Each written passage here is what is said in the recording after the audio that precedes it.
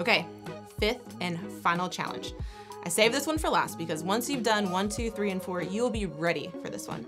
Number five is make eye contact. I know, freaking you out a little bit, but here's how we're gonna do this. You're going to be paying attention to the sights and sounds that are around you. So for instance, if you're sitting in a coffee shop and you hear somebody getting excited about something, you can look over and you can make eye contact with that person.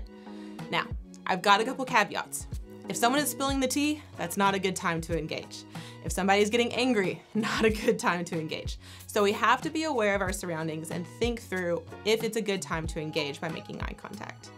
For me, when I'm in social situations and someone's getting excited and I make eye contact and they make eye contact back and smile, that's the invitation to say, oh, what are we getting so excited about today? Or, oh, what's going on? Or if I hear somebody talking about one of my favorite bands, I make eye contact and I said, I actually love that band too. I go see Annabelle's Curse anytime I can.